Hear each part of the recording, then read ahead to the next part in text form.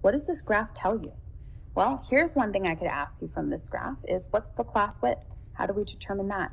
You would subtract the two lower class limits from one another. So 56 minus 50, and you could do another test point, 62 minus 56, and you can see that the class width is six.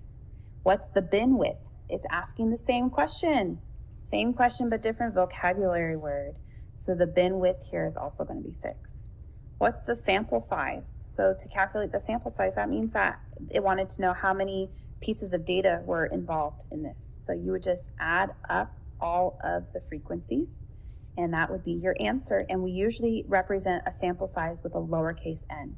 And yes, in this class, lowercase and capital will mean something. So when you get to chapter three, you'll learn that a lowercase n refers to a sample and a capital N refers to a population. So we want to distinguish it with a lowercase n. What's the possible minimum and maximum values? Minimum is going to be that possible smallest one. Maximum would be the possible largest one. So it would be the number. Um, and notice my answer here is 79, not 80. Because the possible maximum number, remember the frequency distribution that we had on the previous page, is 79.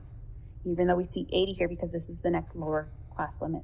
This would be, if we went out one more bin, that would be the lower class limit of the next bin. So the max would be the number right before that. So again, that's only for a histogram if these numbers were lower class limits. So in the online homework software program, pay attention to how they described it. It could have been um, class boundaries or class midpoints, but hopefully they were all lower class limits. So that's your possible maximum and possible minimum. And we again abbreviate max and min for minimum and maximum.